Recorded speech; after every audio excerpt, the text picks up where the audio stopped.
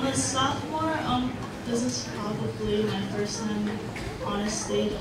Like, one day I suddenly got panic attacks, and I don't know, everything else just kind of stopped in my life. So this is probably my first time doing something like this in like, I don't know, two and a half years.